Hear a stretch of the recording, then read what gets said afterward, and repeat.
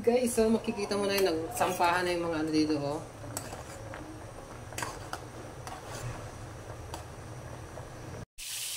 Guys, hindi na tayo nagigit na. Hindi na natin ito nagigit. Sige, so, so. Hmm.